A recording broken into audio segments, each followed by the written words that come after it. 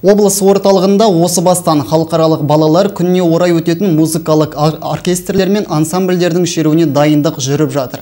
Бұл шара осымен екінші жыл қатарынан ұйымдастырылмақшы. Мерекелік шарада өңірдің дарынды өрендері біркелкі үйлесіммен қимылдап өнерлерін көпшілік назарына ұсынатын болады.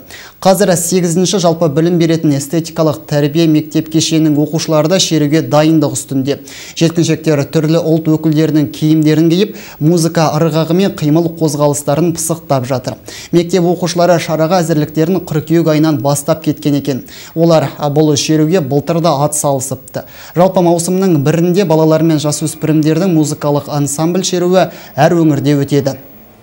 Парад оркестрлер шеруіне қатысатын балалар мен жеткіншектер бірінші маусым күні қала көшелерін аралап өтеді. Бұл шеруге қалалық мектептерден 800 оқушы қатыспақ. Шараның мақсаты балалардың музыкалық деңгейін арттыру болып табылады. Қатысушылардың барлығы дайындықтарын жарты жыл бұрын бастады.